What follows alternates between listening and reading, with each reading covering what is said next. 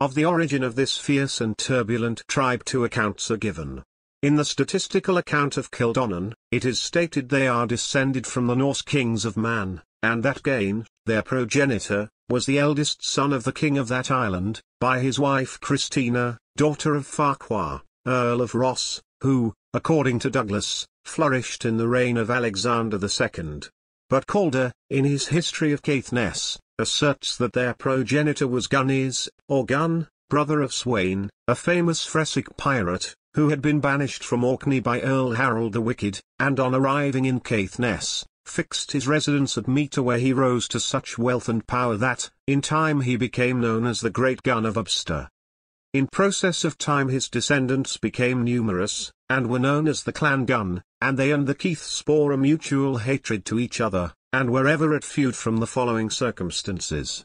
Lachlan Gunn of Braemore had an only daughter, Helen, who was famous for her beauty, and the day of her marriage with her cousin Alexander was fixed, but Dirgald Keith, a retainer of Keith of Ackergill, whose advances she had repelled, surrounded her father's house with a body of armed Keiths, slew many of the Gunns who were unprepared for an attack, and carried off the girl to Ackergill, where she became the victim of her abductor, and eventually threw herself from the summit of the tower. Raid upon raid ensued now, and during one of these, in 1426, a desperate battle was fought between the two clans at Harpsdale, eight miles from Thurso, and in it the Mackays of Strathnaver, led by Angus Dubh Mackay, brother-in-law of the Lord of the Isles, bore a part against the Gunns.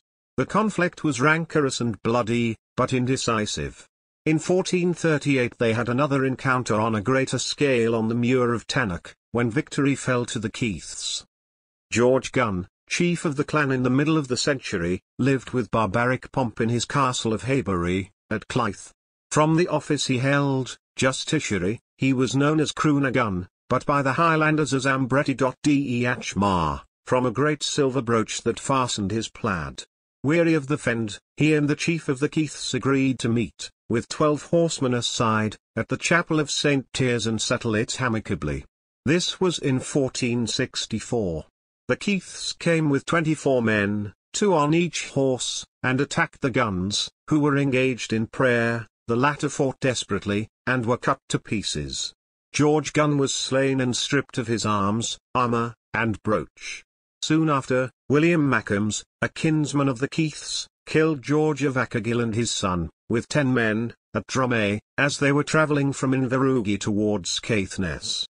The clan Gunn figure in 1581 in a case before the council concerning the renewal of a commission in justiciary in favour of the Earl of Caithness, then a minor.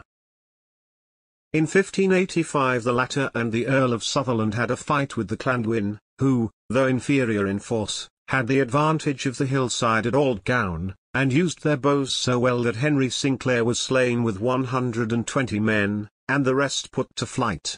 Subsequently the most of the clan emigrated to Sutherlandshire under William and Henry Gunn. From Henry are descended the Hendersons of Caithness. One of the clan, Sir William Gunn, distinguished himself by his valour in the army of Gustavus Adolphus. He was lieutenant colonel of Sir Patrick Ruthven a Dutch regiment. In 1636, on the plains of Wittstock, he commanded the right wing of the army under Sir John Banier, and by the skill with which he handled it, the Austrians were defeated with the loss of 5,000 men, 30 pieces of cannon, and 150 standards. He was subsequently knighted by Charles I for his bravery at the Brig of Dee.